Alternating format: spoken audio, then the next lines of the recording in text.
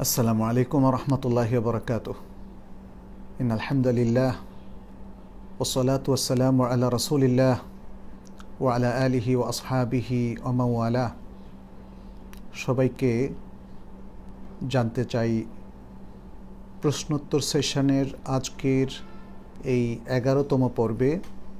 স্বাগত জানাচ্ছি, আশা করছি সকলে ভালো আছেন। শুরুতেই একটা বিষয়ে আপনাদের আকর্ষণ করতে চাই।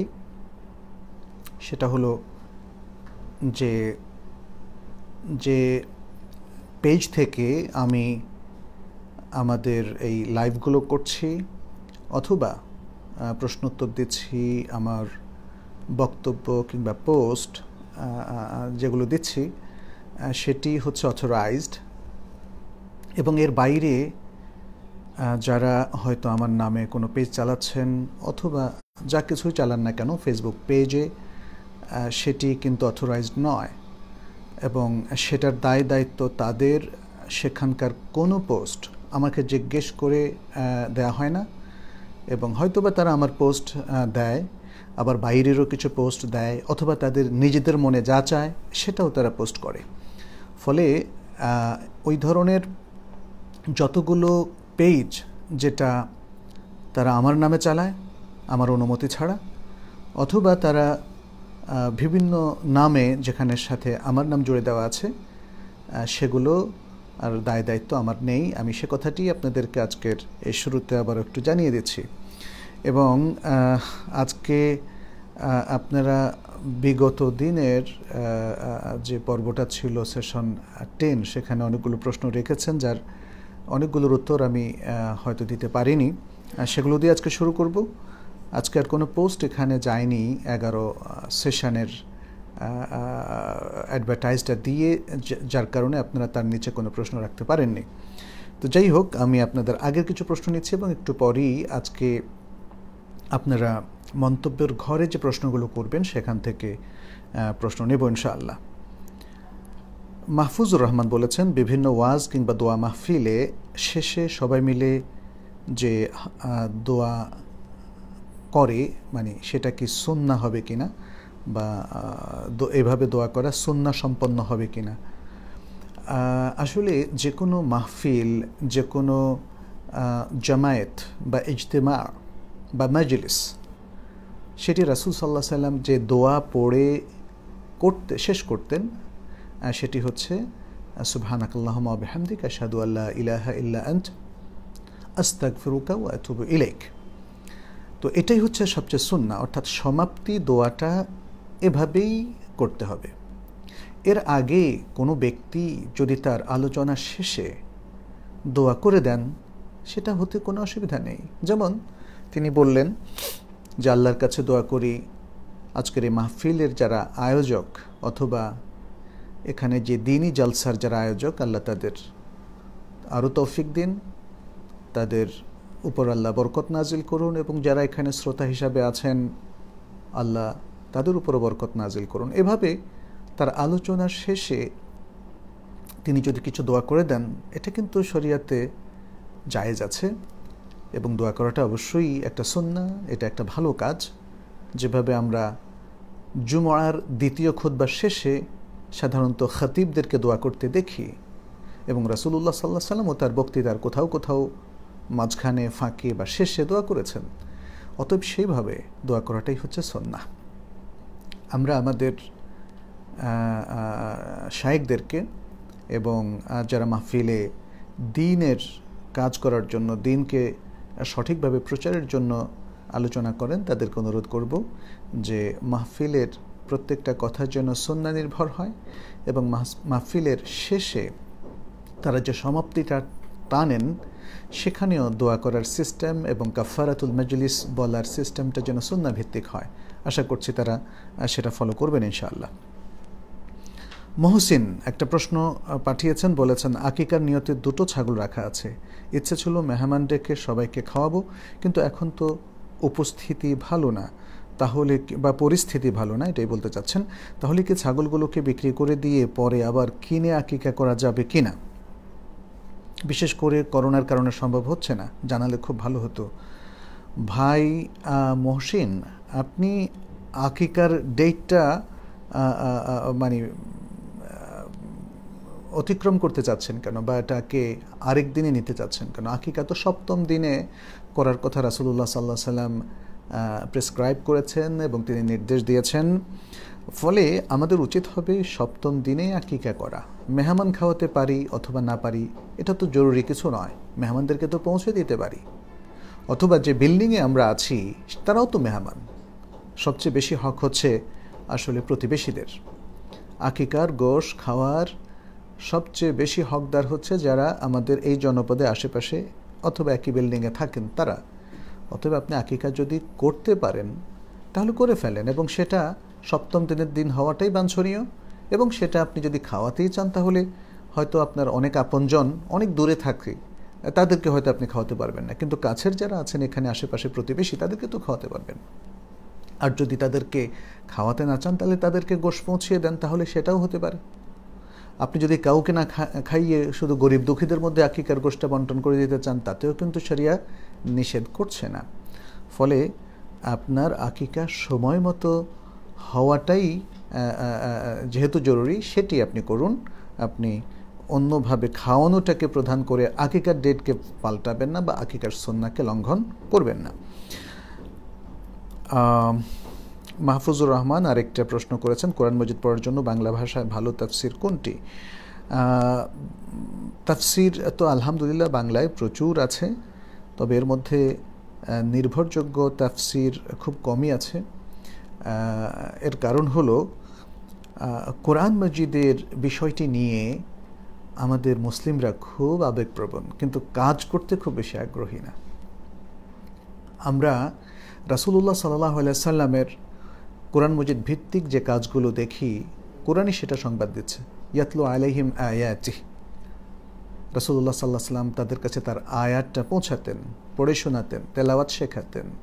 আয়াতের মেসেজগুলো তিনি তাদের কাছে পৌঁছে দিতেন এবং ওই আল্লাহ মোহাম্মুল কিতাব আউল হেকমা, তিনি কিতাবুল্লাহ অর্থাৎ কোরআন শেখাতেন, কোরআনের জ্ঞান শিক্ষা দিতেন এবং হেকমা তথা সন্না শিক্ষা দিতেন। তাহলে কোরআন মজিদকে ঘিরে আমাদের খুবই গতানুগতিক এবং রুটিন শেখার প্রোগ্রাম আছে, যেমন সকালবেলার মক্তব অথবা একটু বিভিন্ন মক্তবে অথবা কোনো হুজুরের কাছে একটু সামান্য পড়লাম, সেটা শুদ্ধ হোক আর অশুদ্ধই হোক। এজন্য আনফর্চুনেটলি আমরা দেখি যে যারা মাদ্রাসায় পড়েছেন, তাদেরও বহু মানুষের কোরআনের তেলাওয়াত শুদ্ধ না। আমি নিজে কওমি মাদ্রাসার দাওরা পাস এবং আলিয়া মাদ্রাসার কামিল পাস এরকম অনেকের ইন্টারভিউ করেছি বিভিন্ন হয়তো নিয়োগ বোর্ডে থেকে দেখেছি তাদের অধিকাংশেরই পড়া শুদ্ধ নয়। যদিও এখন হিফজের চর্চা বাংলাদেশে খুব ভালো হচ্ছে, আমাদের শিশু কিশোররা খুব ভালো ভালো পুরস্কার নিয়ে আসছে কিন্তু তারপরে আমরা বলব, সেটা অল্প কিছু সংখ্যকের মধ্যে সীমাবদ্ধ, অথচ সকল মুসলিমের উপরে ওয়াজিব হচ্ছে কোরআন শুদ্ধভাবে তেলাওয়াত করা। আর যারা কোরআন তেলাওয়াত করতে জানেন, তাদের উপর ওয়াজিব হচ্ছে সেটা শেখানো, কারণ এটা নবিয়ানা কাজ, বিশেষ করে ওলামাদের জন্য, তোল্লাবুল আলম তারা কোরআন মসজিদের শিক্ষা এবং প্রশিক্ষণ এবং শিক্ষাদান এক্ষেত্রে তারা কাজ করবেন। কোরআন মসজিদকে নিয়ে আমাদের গবেষণা কাজটা খুবই স্তীমিত। বিশেষ করে তাফসিরের ক্ষেত্রে ব্যক্তিগত পর্যায়ে এক একজন যার যার মনের মাধুরী মিশিয়ে তাফসির লিখছেন, অথচ তাফসির ইনস্টিটিউট কিন্তু গড়ে উঠছে না আমাদের দেশে। যদিও বা কোনো তাফসির একাডেমি থাকে, আল কোরআন একাডেমি থাকে, অমুক তমুক, সেখানেও অনেকটা ওয়ান ম্যান শো অর্থাৎ একক ব্যক্তির একক চিন্তার কাজ। সেখানে অনেক ব্যক্তিকে আমরা দেখেছি, তারা মেধার সম্মিলন করতে চান না। তারা একাধিপত্য চান। নিজের মন মতো সব কিছু করতে চান। কিন্তু অনেক মেধাকে একসাথ করতে হলে আমাদেরকে কিন্তু স্বাধীনতা দিতে হবে এবং সৃজনশীলতার সাথে কাজ করা, যোগ্যতার সাথে কাজ করার সুযোগ দিতে হবে। এই কাজটা যেহেতু হয়নি এবং প্রায় শূন্যের কোঠায় বাংলাদেশ এই জন্য ভালো তাফসির গড়ে ওঠেনি। প্রত্যেকটা তাফসির আপনি দেখুন, একক ব্যক্তির কাজ। সেখানে হয়তো অনেক সময় ভাষাগত কোনো ত্রুটি থাকে, সেখানে হয়তো ইনফরমেশনগত ত্রুটি থাকে, সেখানে একজন লেখার পরে আরও যে এ গ্রুপ অফ ওলামা সেটাকে মোরাজা করবেন সেটারও যথেষ্ট ঘাটতি থাকে। ইত্যাদি নানা রকম আমরা ত্রুটি দেখি। ফলে বিশাল যে তাফসির সাহিত্য বাংলা ভাষায় অত্যন্ত মানে যোগ্যতার সাথে তৈরি হতে পারত বা স্ট্যান্ডার্ড মেনটেন করে তৈরি হতে পারত, সেটা কিন্তু হয়ে ওঠেনি। তারপরেও যে কাজগুলো হয়েছে, এর মধ্যে আমরা কিছু কিছু কাজকে মোটামুটি ভালো পাই। তার মধ্যে তাফসির ইবনু ক্যাথির যেটা বাংলায় হয়েছে, যদিও সেখানে আরও অনেক সংশোধনী প্রয়োজন। আমি নিজে দেখেছি, বেশ কিছু ভার্সন একাধিক রাইটার সেটাকে অনুবাদ করেছেন এবং কোনো কোনো অনুবাদক আমার সাথেও তারা এটাকে আরও কীভাবে উন্নত করা যায় সে পরামর্শ করেছিলেন অনেক আগে। তারপরে আমরা বলব তাফসির এবনু ক্যাথির এটা হলো নির্ভরযোগ্য তাফসির। তার বাংলা অনুবাদ হয়তো আর স্ট্যান্ডার্ড করা যেতে পারে। এর বাইরে অনুবাদ পড়ার জন্য আলবায়ান ফাউন্ডেশনের একটা সুন্দর তর্জমা বের হয়েছে। সেটা আজ থেকে প্রায় বারো বছর আগে, যদিও বাজারে সেটা অ্যাভেলেবল না তারপরেও সেটা অনেকের কাছে আছে, প্রায় পনেরো বিশ হাজার কপি মানুষের কাছে বন্টন করা হয়েছে। আর আরেকটি অনুবাদ সেটি খুব ভালো এবং তার সাথে খুবই সংক্ষিপ্ত তাফসির করেছেন আমাদের বন্ধুবর প্রফেসর ডক্টর আবু বকর জাকারিয়া। সেটি কোরআন প্রিন্টিং প্রেস মদিনা থেকে বের হয়েছে এবং সেটা এখন সবুজ উদ্যোগ নামক একটি প্রতিষ্ঠান বাংলাদেশের ভাষণ বের করেছে, সেটা আপনারা সংগ্রহ করতে পারেন। আর এর বাইরেও আরও ভালো ভালো তাফসির থাকতে পারে, সবগুলো তো আমি জানি না। তো সেক্ষেত্রে আমরা জেনে জানানোর চেষ্টা করব ইনশাল্লাহ কারণ যেটাকে আমরা সার্টিফাই করব, সেটাকে আমাদের পড়তে হবে। এবং সেই জন্যে আমরা চিন্তা করছি ইনশাল্লাহ সামনে একটা প্রোগ্রাম আমরা নিয়ে আসব আমাদের ইউটিউব চ্যানেলে এবং সাথে সাথে হয়তো ফেসবুকেও সেটা প্রচার করা হবে। হচ্ছে বিশুদ্ধ বই পরিচিতি, বিশুদ্ধ বই পরিচিতি। আশা করছি আপনারা হয়তো এটাকে ভালোভাবে নেবেন ইনশাল্লাহ সেখানে আমরা যতগুলো কোরআন সন্না ভিত্তিক অথেন্টিক বই আছে, তার পরিচয় আমরা তুলে ধরবো ইনশাল্লাহ আল্লাহর কাছে দোয়া করবেন যেন তিনি তৌফিক দেন। জাহিদ হাসান বলেছেন, ফেতরা কাদের উপর দেওয়া ফরজ? এক্ষেত্রে কি পরিমাণ সম্পদ থাকতে হবে যিনি ফেতরা দেবেন? খুবই রিলিভেন্ট প্রশ্ন করেছেন। ইতিমধ্যে আমরা হয়তো অনেকেই ফেতরার প্রস্তুতি নিচ্ছি। প্রথমত আবদুল্লাহ ইবনুল ইবনুল খত্তাব রাদি আল্লাহ তাল আনহুয়ার যে হাদিসটি বোখারি মুসলিমের মধ্যে এসেছে তিনি বলছেন ফরাদা রাসুল্লাহ সাল্লাহ আলাইহি ওয়াসাল্লাম জাকাত আল ফিত্রে সা আমিন তামার ও সা আমিন শাঈর على الحر والعبد والصغير والكبير والذكر والأنثى من المسلمين তিনি বলেছেন যে রাসুল্লাহ সাল্লাহ সাল্লাম জাকাতুল ফেতের একশর পরিমাণ খেজুর অথবা একশর পরিমাণ জব তিনি ফরজ করেছেন ছোট, বড়, স্বাধীন, কৃতদাস এবং পুরুষ মহিলা সকল মুসলিমের উপর। এবং তিনি বলেছেন সেটা যেন ঈদের সালাতের আগেই প্রদান করা হয়। তাহলে এই হাদিস থেকে স্পষ্ট হলো যে প্রত্যেক মুসলিমের উপরে সাদাকাতুল ফেতের দেওয়াটা ওয়াজিব যারা এই পরিমাণ সাদাকা দেওয়ার সক্ষমতা রাখেন। খুবই স্পষ্টভাবে এই হাদিসে সেটাই তুলে ধরা হয়েছে। এটার জন্য কোনো নেশাবের শর্ত কোনো হাদিসে আসেনি। আমাদের অনেকে বলছেন, না, ধনী লোকরা ফেতরা দেবে। আরে, তিন কেজি চাল অথবা তিন কেজি খাদ্য, এটা দেওয়ার জন্য বিশাল নেশাব পরিমাণ সম্পত্তির মালিক হতে হবে। সেরকম কোনো শর্ত তো কোনো হাদিস আরোপ করেনি। যাই হোক ওলামাই কেরামের এটা ইজতেহাদ। আমরা তাদের প্রতি শ্রদ্ধা রেখেই বলছি যে, যেহেতু হাদিসে সেই শর্তটা আসেনি, অতএব আমরা হাদিসটাকে আম রাখব, ব্যাপক রাখব, সেটা হচ্ছে যাদের ফিতরা দেওয়ার সামর্থ্য আছে, অথবা যারা অন্যদের পোষ্য, অন্য অভিভাবকের আন্ডারে যারা মানুষ হচ্ছে, যেমন ছোট বাচ্চা, যেমন মহিলা তার স্বামীর অভিভাবকত্বে সে থাকছে, যেমন পিতামাতা তার সন্তানের উপর ডিপেন্ডেন্ট তাহলে এদের পক্ষ থেকে তাদের সন্তানরা দিয়ে দেবেন যদি তাদের সাধ্য থাকে, যদি তাদের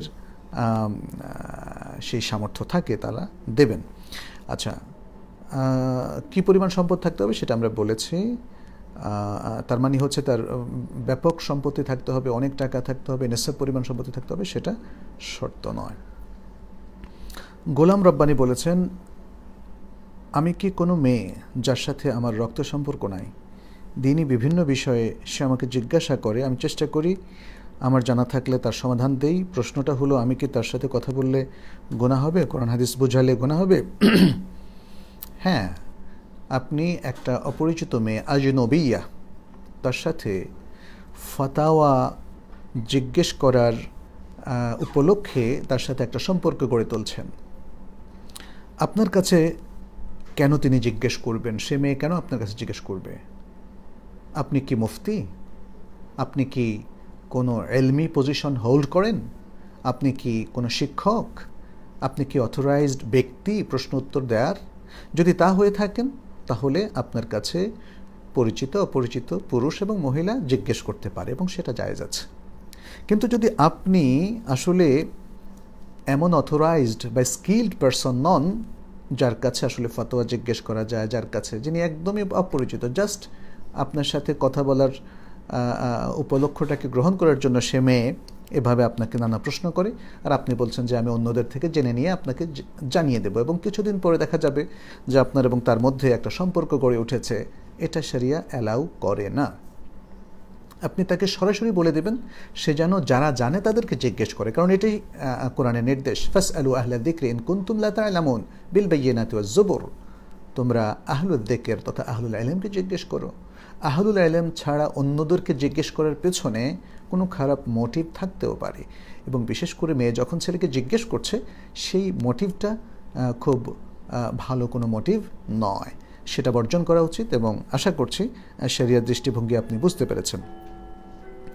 কোহিনুর বেগম বলেছেন, আসসালামু আলাইকুম আলাইকুম আসসালাম। May Allah forgive all of our sins and may be and may he unite us for the betterment in this দুনিয়া অ্যান্ড আখিরা আপনি একটা সুন্দর দোয়া করেছেন। আমরা আল্লাহর কাছে দোয়া করি তিনি যেন হ্যাঁ আমাদেরকে তিনি দুনিয়ার কল্যাণ এবং আখিরাতের কল্যাণ প্রদান করেন এবং দুনিয়াতে আমাদেরকে ঐক্যবদ্ধ মুসলিম জাতি হিসাবে কবুল করেন এবং আমাদের সকল পাপকে ক্ষমা করেন। আশিক ইসলাম বলেছেন, মেয়েরা যখন মাসিক অবস্থায় থাকে, রমাদানের শেষ দশকে কীভাবে ইবাদত করবে? তাদের তো সালাত নেই, সিয়ামও নেই। তারা পরিবারে দেখাশোনা এবং কিছু পড়াশোনা এবং দোয়া, এটা তারা করতে পারে। দোয়া। তারা সেই দোয়াটা করবে যেটা আয়সা রাদি আল্লাহ তালা আনহা শেষ দর্শকে করেছিলেন। আল্লাহ ইন্নাকা আফুন তোহেব্বুল আফা ফাফু আন্নি অথবা ফাফু আন্না হে আল্লাহ, তুমি ক্ষমাশীল, তুমি ক্ষমাকে ভালোবাসো, তুমি আমাদেরকে ক্ষমা করে দাও, তুমি আমাকে ক্ষমা করে দাও। সুহান আল্লাহ আল্লাহ যদি আমাদেরকে ক্ষমা করে দেন, এই মহিলা যিনি অন্যান্য ইবাদত করতে পারছেন না, মাসিকের মধ্যে আছেন, সিয়াম এবং সালাদ শেষ দশকের মেইন প্রোগ্রামগুলোই তিনি পরিপালন করতে পারছেন না, কিন্তু আল্লাহ যদি তাকে ক্ষমা করে দেন, তার আর কি চাই? সুবহান আল্লাহ আল্লাহর ক্ষমার চাইতে কোনো বড় নিয়ামত এই দুনিয়ায় নেই অতএব আপনি সেভাবেই এই দোয়া এবং এর বাইরে অন্যান্য দোয়া করতে পারেন মা বাবার জন্য দোয়া করতে পারেন দোয়া দোয়ার জন্য তো আর মাসিক কোনো অন্তরায় নয় জাহিন হাসান, তিনি বলছেন, We love you for the sake of Allah. What are the professions we young people can choose? In other words, can you tell us about what category of incomes are halal in the religion? প্রথমেই বলব জাহিন আল্লাহ আপনাকে এবং আপনাদের সবাইকে ভালোবাসুন যার জন্য আমরা পরস্পরকে ভালোবাসি আল্লাহ আমাদের এই পারস্পরিক ভালোবাসা হৃদ্যতা মমতাকে আল্লাহ কবুল করুন আমিন আর প্রফেশনের ক্ষেত্রে ইসলাম কিন্তু কোনো ধরনের রেস্ট্রিকশন আরোপ করেনি যদি সেটা হালাল হয়। আপনি শিক্ষকতা করতে পারেন, আপনি প্রকৌশলী হতে পারেন, আপনি মেডিকেল ডক্টর হতে পারেন, আপনি ব্যবসা বাণিজ্য করতে পারেন, আপনি যে কোনো ফ্রিল্যান্সিং কাজও করতে পারেন, আপনি কম্পিউটার কম্পোজ করতে পারেন, আপনি সফটওয়্যার এর উপর কাজ করতে পারেন, আপনি হার্ডওয়্যারের উপর কাজ করতে পারেন। নানা ধরনের প্রফেশন আছে শুধুমাত্র যা আপনি করতে পারেন না যেটা হারাম। আপনি হারাম প্রোডাক্ট তৈরি করতে পারবেন না। আপনি তামাক এবং তামাকজাত ব্যবসা, বাণিজ্য প্রোডাকশানের সাথে জড়িত থাকতে পারবেন না। আপনি চোরাই মাল এর যে কোনো ধরনের উৎপাদন অথবা স্থানান্তর অথবা এটা বিক্রি, এটা কেনা, এগুলো কোনোটার সাথে জড়িত থাকতে পারবেন না। আপনি সুদের সাথে সম্পৃক্ত থাকতে পারবেন না। আপনি চুরি, চামারি, ডাকাতি, অন্যায়, রাহাজানি, দুর্নীতি এই ধরনের যত কিছু আছে এগুলোর সাথে সম্পৃক্ত থেকে আপনার টাকা রোজগারের পথ আপনি গ্রহণ করতে পারেন না। তাহলে আপনাকে এই হারাম কাজগুলো ট্রানজ্যাকশনগুলো বাদ দিয়ে যত হালাল আছে, তার সবগুলো হয়তো আমিও জানি না, আপনিও জানেন না। হালালের পরিধিটা মোয়ামেলাতের মধ্যে অনেক বড়, অনেক এক্সপান্ডেড আপনি যে কোনো একটা হালাল কাজ করেন, কোনো অসুবিধা নেই। সোয়াইব আহমদ বলেছেন, should a father force her, his daughter to marry a pious man with beard or he should let her to get married with someone who is less pious and with no beard.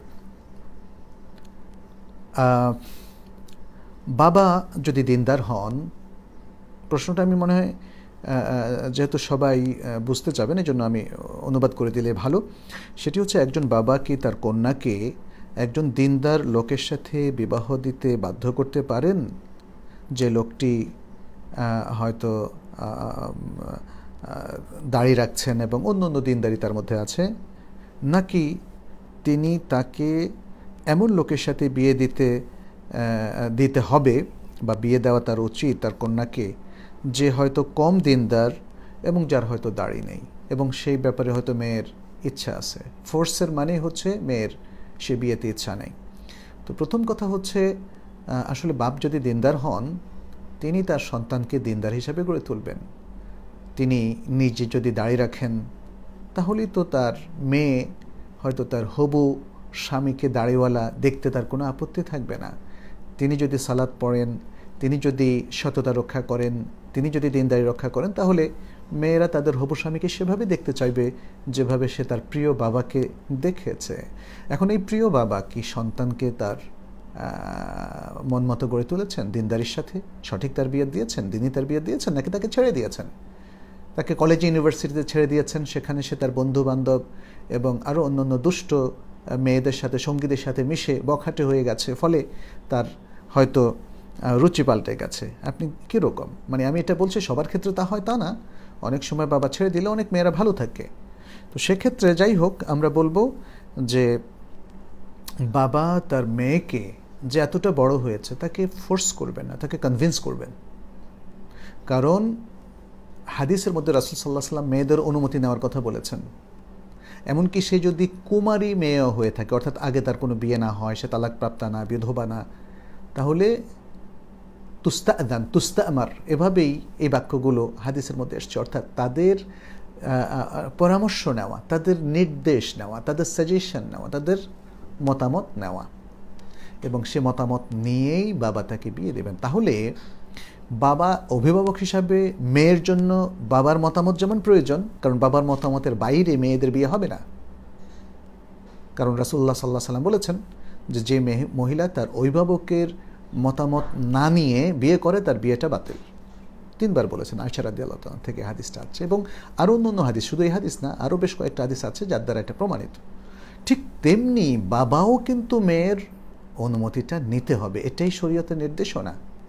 তাহলে বাবা, মেয়ে দুজনে মিলে আলাপ আলোচনা করে যে দিনদার পাত্রকে তারা চুজ করবেন, সেখানেই তাদের বিবাহ সাদী হবে এবং সেক্ষেত্রে একটু কম দিনদার, একটু বেশি দিনদার, এটা, এটাতে তেমন কোনো সমস্যা নেই। একটু কম দিনদার, একটু বেশি দিনদার। কারণ বিবাহ সাদীটা পুরোটাই হচ্ছে তাকদিরের একটা ব্যাপার। অনেক সময় খুব দিনদার একটা ফ্যামিলিতে আপনি বিবাহের জন্য অগ্রসর হলেন, হলো না। কিন্তু তাই বলে কি মেয়েদেরকে বিবাহ ছাড়া রাখা হবে? না, রাখা হবে না। আপনি প্রথম যে দিনদার পাত্রটা এসেছিল, তার মতো যদি আর কোনো পাত্র না পান, তাহলে একটু লেস দিনদার, কম দিনদার পাত্রের কাছেও আপনাকে পাত্রস্থ করতে হবে। এটা হচ্ছে সুযোগ সুবিধার উপরে। কারণ বিবাহ সাদীর প্রত্যেক পক্ষের উপর আপনার আমার সবসময় নিয়ন্ত্রণ থাকে না। অতএব শরিয়ার দৃষ্টিভঙ্গি মেনে আমাদেরকে খেয়াল রাখতে হবে যত বেশি দিনদার পাত্র অথবা পাত্রী ম্যাচ করানো যায়। এবং সেটাই শরীয়তের নির্দেশ। রাসুল সাল্লাহ সাল্লাম পাত্রপক্ষকে বলেছেন ফাতফার বেদায়তি দিন। দিনদার পাত্রীকে জিতে নাও।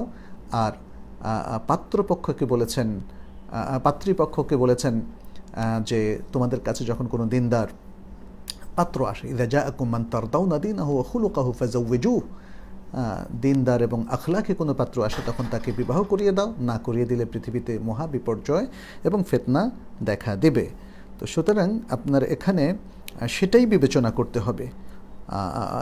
দিনদার হওয়াটাই বাঞ্ছনীয়। কিন্তু যদি আপনি কখনো না পান তাহলে যতটুকু পেয়েছেন, যদি মনে করেন এর থেকে বেটার পাওয়া যাওয়ার আর কোনো সম্ভাবনা নেই, তাহলে সেখানে বিয়ে দিয়ে দেন। এরপরে যদি পাত্রের মধ্যে কোনো ত্রুটি থাকে বা পাত্রীর মধ্যে ত্রুটি থাকে, তাহলে সেটা আপনারা সংশোধনের ব্যবস্থায় নসিহাতের দিকে যান। পাত্র যদি দাঁড়িয়ে না রাখে, তাকে বলেন যে, ভাই, তুমি এখন থেকে দাঁড়িয়ে রাখো। বা জামাই সাহেব, এখন থেকে কি দায়ী রাখা যায় কি না এভাবে তাদেরকে আসলে বিশুদ্ধ করা যায়।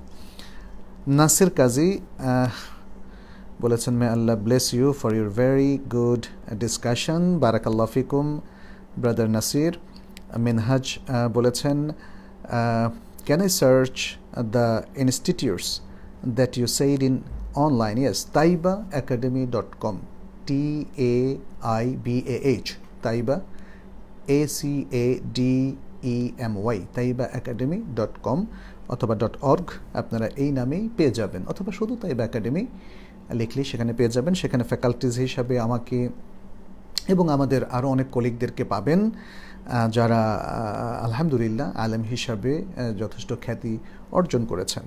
তো আপনি সেখানে এবং আমাদের অন্য অন্য ভাই বোনেরা যারা আগ্রহী, তারা সেখানে ব্রাউজ করতে পারেন।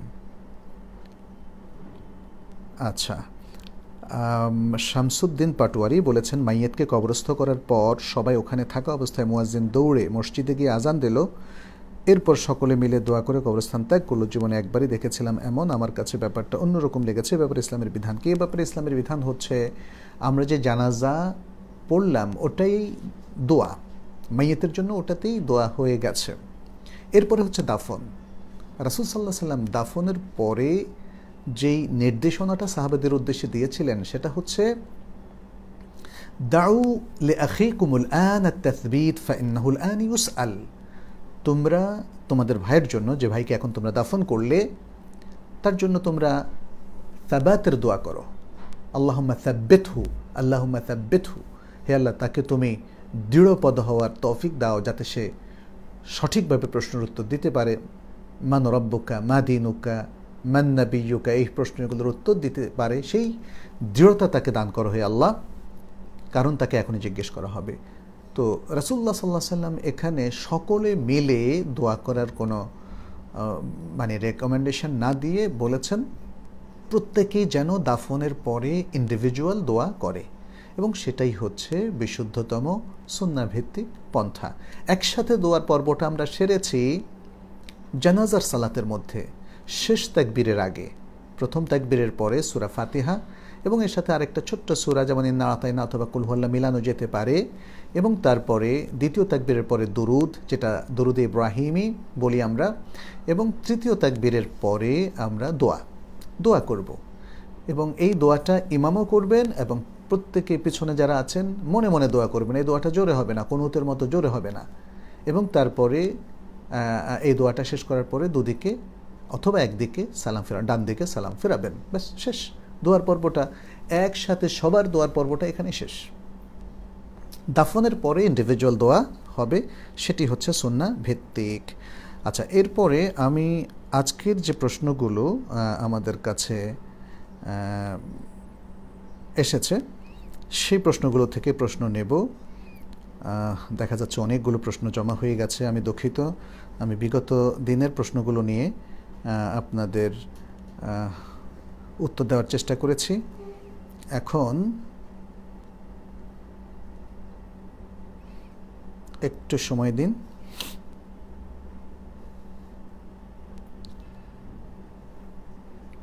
আচ্ছা।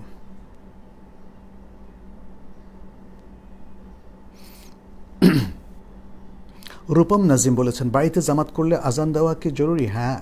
আজান দেবেন। আজান দেওয়া জরুরি বলতে ওয়াজিব বা ফরজ নয় বাট এটা ইসলামের শেয়ার। যেখানেই জামাত হবে, যেখানেই কোনো ব্যক্তি সালাদ পড়ছেন, ফরজ সালাদ সেখানে তিনি আজান দেবেন। এমনকি তিনি যদি পাহাড়ে আইসোলেটেড অবস্থায় থাকেন, তাহলেও তিনি সেখানে আদান দেবেন, একামত দিয়ে এই ফরজ সালাদটা পড়বেন। রাসুল সাল্লাহ সাল্লাম সেই ব্যক্তির গুণগান গাইছেন এবং প্রশংসা করেছেন যে পাহাড়ে থেকেও, পাহাড়ের চূড়ায় থেকেও সে আজান দেয় এবং একামত দিয়ে সালাত আদায় করে। অতএব বাড়িতে সেটা তো আরও স্ট্রংলি রেকমেন্ডেড আর এখন বিশেষ করে যখন আমরা মসজিদে যেতে পারছি না, অনেক সময় করোনা ভাইরাসের এই সংক্রমণের কারণে এবং আমাদের সেরিয়া ভিত্তিক রোকসাত থাকার কারণে, তাহলে তো আমরা মসজিদের বিকল্পটা বাসাই পড়ছি, অতএব আমাদের আজান দেওয়াটা উচিত, আজান এবং একামাত। সারা বলেছেন বেতের সালাতে শেষ রাকাতে রুকু থেকে উঠে তারপর দোয়া কুনত পড়ি। এখন প্রশ্ন হলো, এখন সেজদা যাওয়ার আগে রাফুলিয়া দাইন আছে কি না থাকলে আগে বা পরে কখন করব, খুব উপকার হবে। চারবার রাফুল এদাইন কখন কখন হবে সেটা দেখিয়ে দিলে। আর রাফুল এদাইন করার সময় শুধু হাত তুললেই হবে, নাকি সাথে আল্লাহ আকবর বলতে হবে জাজাক আল্লাহ খেরান ভেতরে শেষ রাকাতে রুকুর আগেও আপনি কুনুত পড়তে পারেন এবং রুকু থেকে উঠেও কুনুত পড়তে পারেন। দুটোরই সাহি বর্ণনা আছে সাহাবাইকেরাম থেকে। আপনি এরপরে বললেন যে সেজদা যাওয়ার আগে কি আর কোনো রাফুল ইয়াদাইন আছে? না। রুকুতে যাওয়ার আগে রাফুল ইয়াদাইন আছে। আপনি হয়তো যে দুই হাতে আল্লাহ আকবার বলে কাঁধ বরাবর অথবা কান বরাবর হাত তুলবেন। এবং রুকু থেকে উঠে কাঁধ বরাবর অথবা কান বরাবর হাত তুলবেন।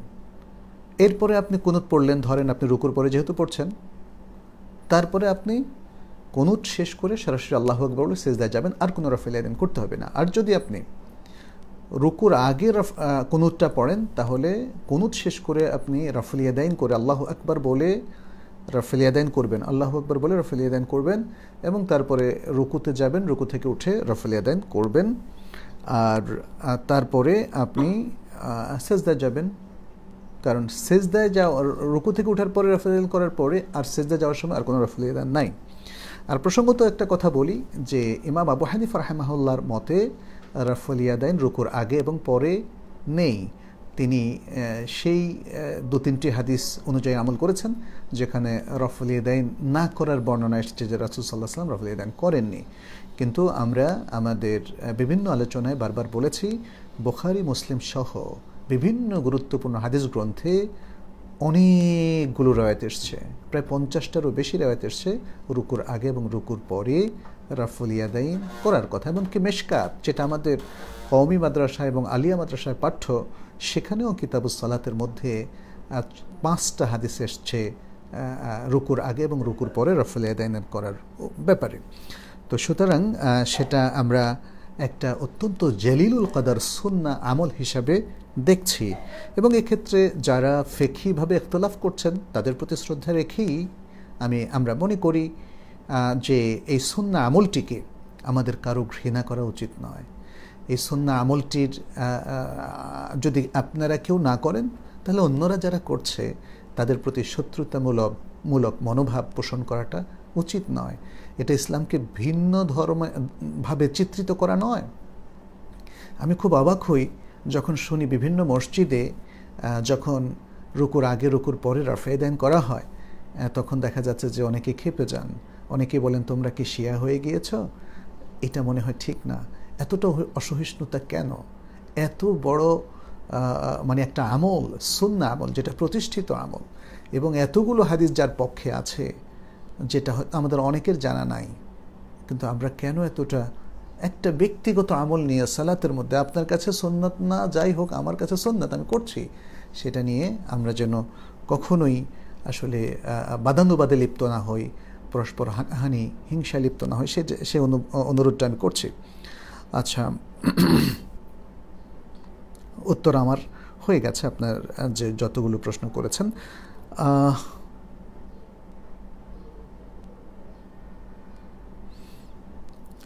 আপনি বলেছেন জ্ঞান পিপাসু। কারও নাম আলিমা ফাইরুজ রেখে তাকে আলিমা বলে ডাকা যাবে কিনা, এখানে কি আল্লাহর নামের সাথে কোনো সংঘর্ষ হবে? আলিমা, আলিম। হুয়া রাজুলুন আলিম, তিনি একজন আলিম ব্যক্তি, অথবা এমরাতুন আলিমা, তিনি একজন আলিমা নারী। তো সুতরাং আলিম অথবা আলিমা, কারোর নাম রাখতে কোনো অসুবিধা নেই। আল্লাহর নাম হচ্ছে আলিম। আল আলিম আসামিয়া সামিয়া এটা নয়। সামিয়া আলেম এটা নয়। আল আলিম সুতরাং এখানে আল্লাহ নামের সাথে কোনো সংঘর্ষ হবে না। মাহরামদের সামনে সাজার জন্য ফলস আই ল্যাশেস চোখে লাগালে কি গোনা হবে? এটা কি পরচুলার মধ্যে গণ্য হবে? আই ল্যাশেস জিনিসটা কি কোনো যেমন এই ভ্রুর কথা বলছেন? নাকি অন্য কিছু আর একটু ব্যাখ্যা করে দিলে ভালো হবে। আসলে এই যে ভ্রু প্লাগ করা, ভ্রু উঠিয়ে নকল ভ্রু লাগানো, অথবা শরীরের যতগুলো সুন্দর চুল আল্লাহ দিয়েছেন, মাথার চুল তারপরে আপনার ভ্রু পুরুষদের জন্য যেমন দাড়ি হ্যাঁ তারপরে বা হালকা মোচমোচটাকে ছোট করে রাখা, এটা শরিয়াত সম্মত তো এই সকল ক্ষেত্রে এসব কামিয়ে বা উঠিয়ে ফেলে, নকল মোচ লাগানো, নকল দাড়ি লাগানো, নকল ব্রু লাগানো, নকল চুল লাগানো, পরচুল, এগুলো সবই নিষিদ্ধ। আচ্ছা জয়নাল আবেদিন বলেছেন, আমি প্রবাসে আমি প্রবাসে থাকি, আমার ফিতরা, আমার মা বাবা দিলে আদায় হবে কি? ফিতরা দেওয়ার বিধান হচ্ছে ব্যক্তি নিজেই দেবে। আপনার মা বাবা কেন দেবে? আপনি প্রবাসে থাকেন, আপনি তো নিশ্চয় শিশু নন। এটাই বোঝা যাচ্ছে। কারণ আপনি প্রবাসে থাকেন মানে হচ্ছে সেখানে কাজ করেন। বরং আপনার মা বাবা আপনার ডিপেন্ডেন্ট আপনি যদি মা বাবা আপনার উপর ডিপেন্ডেন্ট হয়ে থাকেন, তাহলে তাদেরটা আপনি দিয়ে দিতে পারবেন। অথবা বাবা যদি সক্ষম হন, তাহলে তিনি এবং তার স্ত্রী, অর্থাৎ আপনার মায়েরটাও তিনি দিয়ে দিতে পারবেন। আর আপনি নিজেরটা দিতে হবে। আপনি নিজেরটা দেওয়ার জন্য সবচেয়ে উত্তম হচ্ছে আপনার এরিয়া কারণ আপনার এরিয়াতে যদি ফকির মিসকিন থাকে, আপনি তাদেরকে বঞ্চিত করে অন্য জায়গায় কেন পাঠাবেন? আপনি নিজের এরিয়াতে আগে ফেতরা দেবেন। সেখানে যদি নেওয়ার মতো কেউ না থাকে, তখনই আপনি অন্য জায়গায় পাঠাবেন। এটাই হচ্ছে বিধান। মইনুল হাসান ফাহিম বলেছেন, সাত আসমান যেমন আছে, তেমনি কি সাত জমিন আছে? তাহলে সাত জমিনে কি কি আছে একটু জানাবেন? এটা তো আপনি জানাবেন। সাত আসমান যেমন আছে, সাত জমিন। আচ্ছা সরি আমি ভাবলাম যে যেমন কেউ কেউ বলছে, জমিনের ভিতরে সাত আসমান আছে। সেটা সে প্রশ্ন নয়। আপনি বলেছেন, সাত আসমান যেমন আছেন, সাত জমিন। অর্থাৎ জমিনের নিচে বিভিন্ন তবাকা আছে। সেটা তো আমরা এমনিতেই দেখতে পাচ্ছি। জমিনের নিচে বিভিন্ন তবাকা আছে, এটা আল্লাহ তালা আমাদেরকে বলেছেন। এখন আল্লাহর সেই অসীম জ্ঞানের যে বিষয়গুলো, সেগুলো এখনও পর্যন্ত আসলে আমাদের সামনে সেভাবে স্পষ্ট করে মানুষ তুলতে পারেনি মানুষের অক্ষমতার কারণে। কি? যেমন সাত আসমান। মানুষ কি প্রথম আসমান ভেদ করে যেতে পেরেছে? মানুষ কিন্তু এখনও প্রথম আসমান ভেদ করে যেতে পারেনি। ঠিক তেমনি জমিনের নিচে আমরা যতটুকু জানি, অনেক সময় খনিজ পদার্থ নেওয়ার জন্য মানুষ তাদের কিছু ইনভেস্টিগেশনের টিম সেখানে কাজ করেছে। ফলে তারা পুরো জমিনটাকে এক্সপেরিয়েন্স করা এবং সাত তবকটাকে পরীক্ষা করে দেখার সুযোগ লাভ করেনি। কারণ মানুষের সেই সক্ষমতা এখনও অর্জিত হয়নি। দেখা যাক, অদূর ভবিষ্যতে আল্লাহ তাদেরকে সেই ক্ষমতা দেন কিনা বা সামর্থ্য দেন কিনা, তখন আমরা দেখব। কিন্তু আমাদের ওহির যেহেতু এটা এটা সংবাদ সব আরাদিন হাদিসের মধ্যে আমরা যেটা পাচ্ছি, আর সাব আসামাওয়াত তো কোরআনের মধ্যেও এসেছে, হাদিসেও এসেছে। সুতরাং ওহির এই ইনফরমেশনগুলোকে আমাদের অবশ্যই বিশ্বাস করতে হবে, সত্য বলে মেনে নিতে হবে। এর বাইরে সেটা আমরা মানে নিজে ফিজিক্যালি আবিষ্কার করতে পারি আর না পারি, তাতে কিছু যায় আসে না। কি কি আছে আপনি বলেছেন সেটা জানানোর জন্য। আসলে কি কি আছে সেটা সবটাই তো আমরা জানি না। আমরা কিছু জানি। জমিনের নিচে আছে অনেক খনিজ পদার্থ, জমিনের নিচে আছে পানি, জমিনের নিচে অর্থাৎ ভেতরে অনেক প্রাণীও কিন্তু বাস করে, অনেক প্রাণীও বাস করে। সুতরাং এগুলো কমনলি জানা যায়। আর যেগুলো আমরা বা মানব জাতি হিসেবে আমরা এখনও জানতে পারিনি, এরকম অনেক কিছু সেখানে আছে যেটা হয়তো আমাদেরকে অপেক্ষা করতে হবে জানার জন্য, আল্লাহ আমাদেরকে জানান কি না, আর না জানলেও কোনো অসুবিধা নেই। তনভীর হুসাইন সুমন বলেছেন, আমাদের দেশে লাইলাতুল কদর সাতাশে রমজানে পালন করা হয়ে থাকে। কদরের রাতটি এভাবে নির্ধারণ করা কি বেদাত? সাতাশ তারিখের মধ্যে তখসিস করা এটা শরীয়ত সম্মত নয়। তবে সাতাশ তারিখের সম্ভাবনা যদি বলা হয়, তাহলে অধিকাংশ ওলামাইকরাম তাই বলেছেন। অর্থাৎ রমজানের শেষ দশকের মধ্যে সবচেয়ে সম্ভাবনাময় রাত হচ্ছে সাতাশ তারিখ। আচ্ছা তার মানে এই নয় যে এই চোদ্দোশো বছর ধরে যখন থেকে রাসুল সাল্লাহ সাল্লাম আমাদেরকে ইনফর্ম করলেন, তারপর থেকে সাতাশ তারিখই প্রতি বছর লাইলাতুল কদর। না, বরং অন্য যে কোনো তারিখে হতে পারে, যেহেতু রাসুল সাল্লাহ সাল্লামের প্রথম বছর বোখারি যে হাদিসটা এসছে, সেখানে একুশ তারিখের কথা বলা হয়েছে। আরেকটা রেওয়ায়তে তেইশ তারিখের কথা বলা হয়েছে। তাহলে একুশ এবং তেইশ তারিখের সহি হাদিস আমরা পেয়ে গেলাম। আবার রাসুল সাল্লাহ সাল্লাম তিনি পঁচিশ, সাতাশ এবং উনত্রিশ তারিখে খোঁজার কথা বললেন। যদি উনত্রিশ তারিখে হওয়ার কোনো সম্ভাবনাই না থাকবে, তাহলে খুঁজবে কেন? পঁচিশ তারিখের সম্ভাবনা না থাকলে খুঁজবে কেন? আবার আরেকটা হাদিসে তিনি বিজয় রাত্রিতে খুঁজতে বলেছেন। তার মানে হচ্ছে সবগুলো বিজয় রাত্রিতেও সম্ভাবনা আছে। একুশ, তেইশ, পঁচিশ, সাতাশ, উনত্রিশ। আবার আরেকটা হাদিসে আরও একাধিক হাদিসে তিনি শেষ দশকের পুরোটার মধ্যে খুঁজতে বলেছেন। এবং সাহাবিদেরকে বলেছেন যে, দেখো, আমি আগে প্রথম দশকে এতেকাফ করেছি, তারপরে মধ্যের দশকে এতেকাফ করেছি। উদ্দেশ্য ছিল লাইলাতুল কাদেরকে খোঁজা। এখন আমাকে অবহিত করা হয়েছে যে, লাইলাতুল কাদের শেষ দশকে। অতএব তোমরা শেষ দশকে তাকে খোঁজো। তাহলে শেষ দশকের পুরোটার মধ্যে খুঁজতে হলে তো তার সম্ভাবনা থাকতে হবে।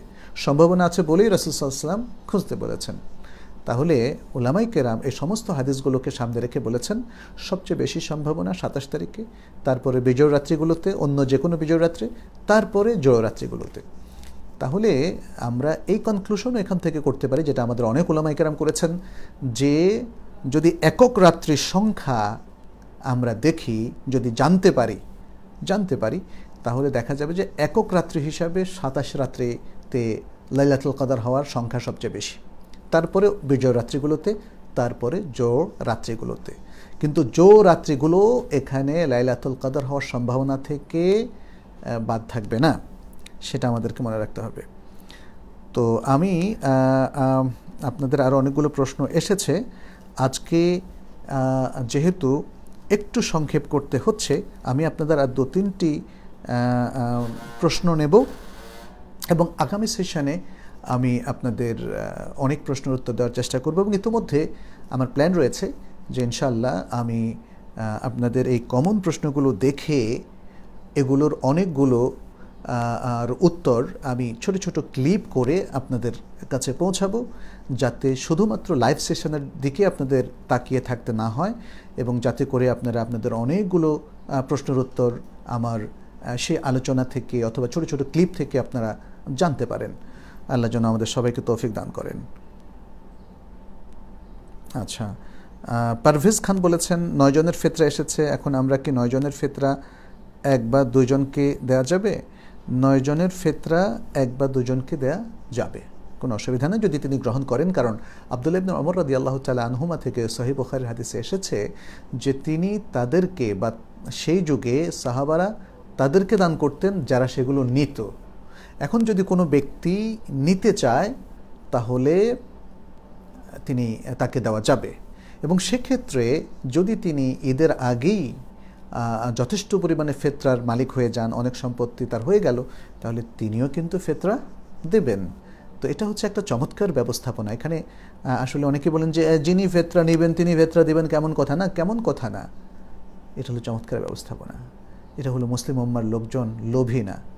তারা শুধু খাই খাই করে না, তারা কিছু সাফিসিয়েন্ট আসার পরেই যখন তাদের মধ্যে সামর্থ্য তৈরি হয়ে যায়, তখন আবার দেওয়া শুরু করে। সুহান আল্লাহ সুহান আল্লাহ রাসুল্লাহ সাল্লাহ সাল্লামের ঘরে অনেক সময় কিছু ছিল না। যখনই কিছু আসতো, আবার তিনি এক বেলায় সেটা প্রদান করে শেষ করে দিতেন। অতএব যাদের কাছে যারা অনেক ফেতরা জমা হয়ে গেছে, ফেতরা নিতে নিতে বেশ কিছু ফেতরা জমা হয়ে গেছে, এখন সে তার নিজের নিজের স্ত্রীর অথবা সন্তানের ফেতরা দিতে পারে, তাহলে তিনি আবার দেবেন। কাকে দেবেন? এটা জরুরি নয় যে তার থেকে আরও ফকির মিসকিনকে, যে কোনো মিসকিন যারা নিতে চায়, যারা নেয় তারা অবশ্যই মিসকিন। তা না হলে তারা কেন নেবে? নেওয়ার মতো প্রচুর লোকজন আছে। অতএব প্রত্যেকে মনে রাখতে হবে, যারা নিতে চায় তাদেরকে দেওয়া যাবে। আবার এটাও জানতে হবে, যিনি ফেতরা অনেক পাওয়ার পরে অনেক খাদ্যের মালিক হয়ে গেছেন, তাকেও আবার ফেতরা দিতে হবে। কারণ তিনি ফেতরা দেওয়ার সামর্থ্য লাভ করেছেন। সাকিবুর রেজা, যেসব রাকাতে ইমাম সাহেব আস্তে আস্তে কেরাত পড়ে, সেসব রাকাতে মুক্তাদিদের কেরাত পড়ার বিষয় জানতে চাই হ্যাঁ? ফরজ সালাতে যেসব রাকাতে ইমাম আস্তে আস্তে কেরাত পড়েন, সে সমস্ত রাকাতে মুক্তাদিরা কেরাত পড়বেন। সোরা ফাতেহা তো পড়বেন অবশ্যই, তার সাথে অন্য সোরা মিলাতেও কোনো অসুবিধা নেই। কিন্তু যেসব রাকাতে ইমাম জোরে কেরাত পড়েন, সেসব রাকাতে বিশুদ্ধ মত অনুযায়ী, এখানে তিনটা মতের কথা আমরা বলেছি এবং আমরা বলেছি আদিসের আলোকে বিশুদ্ধ মত হচ্ছে সোরা ফাতেহা পড়া এবং বাকিটা শোনা। তাহলে তিনি প্রথমে সুরা ফাতেহা শুনতে, শুনে নিতে পারবেন, অথবা ইমামের ফাঁকে ফাঁকে পরপর সুরা ফাতেহার আয়াতগুলো পড়ে নেবেন, অথবা ইমামের পুরোটা সুরা ফাতেহা শুনে তারপরে পড়ে নেবেন এরপরে বাকি অংশটা তিনি শুনবেন। এটা হচ্ছে সেরা এই বিধান আপনারা জানেন যে ফেকের ক্ষেত্রে অনেক একতলাফ রয়েছে। অতএব আমাদের কোনো জবাব থেকে আপনাদের কারও মনে কষ্ট নেওয়ার কোনো কারণ নেই। আমি যদি কখনো কোনো মত ব্যক্ত করি, অবশ্যই দলিলের আলোকেই সেটা ব্যক্ত করছি। এটা তো জরুরি নয় যে পৃথিবীর সবাইকে আমাকে স্যাটিসফাই করতে হবে। এটাও জরুরি নয়। পৃথিবীর সব স্কলারদের কথার সাথে মিল রেখে আমাকে কথা বলতে হবে। আমাকে কথা বলতে হবে কোরআন এবং সন্ন্যার আলোকে। আমি খুব অবাক হচ্ছি যে আমাদের কোনো কোনো ভাই হয়তো কষ্ট পাচ্ছেন যে তার সাথে কেন আমার মিলল না। মেলাটা তো জরুরি নয় ভাই। আমিও কিন্তু মনে কষ্ট পাচ্ছি না যদি আমাদের কোনো ভাইয়ের কথার সাথে আমার না মিলে, তবে আমরা শুধু তো আহ্বান জানাই, কোরআন সুন্না ভিত্তিক যেন জবাবটা আমাদের হয়। তো আজকে আমি এর মানে এই আলোচনার মধ্য দিয়ে শেষ করতে চাই এবং ভবিষ্যতে আমরা আরও অনেকগুলো সুন্দর সুন্দর বিষয় নিয়ে আলোচনা করব। যারা আরবি ভাষাভাষী, আমরা ইনশাল্লাহ চেষ্টা করব আমাদের বাংলাদেশের যারা ভালো ভালো স্কলাররা আছেন, যারা আরবিতে লেকচার দেন, আরবিতে বিভিন্ন টকস করেন তাদের জন্য আমরা সে আরবি ভাষার কিছু ব্যবস্থা রাখব এবং যারা ইংরেজি ভাষাভাষী আমাদের দেশে এখন প্রচুর ইংলিশ মিডিয়াম স্কুল তারা অনেকেই হয়তো বাংলায় ততটা অভ্যস্ত নন। তাদের জন্য আমাদের কিছু উপস্থাপনা থাকবে এবং কিছু মানে ইংরেজি ভাষাতেও যাতে আমাদের এখানকার ভালো স্কলাররা যারা রয়েছেন তারা কিছু জিনিস শেয়ার করতে পারেন তাদের উদ্দেশ্যে। সেই খোঁজখবরই আপনাদেরকে দিচ্ছি। আশা করছি যে আমরা আবারও আরেকটি অনুষ্ঠানে একসাথ হব এবং আল্লাহর কাছে দোয়া করি, তিনি যেন আমাদের সবাইকে তৌফিক দান করেন এবং প্রত্যেকটা কাজে, কর্মে, কথায়, চিন্তা, ভাবনায় যা আমরা কোরআন সন্না ভিত্তিক করছি, তাতে বারাকা দান করেন। হাদা ওসল্লাহ ওসাল্লাম আলা নবীনা মোহাম্মদ ও আলা আলহি ও আসহাবি আজমাইন। আসসালামু আলাইকুম রহমতুল্লাহ বরকাতু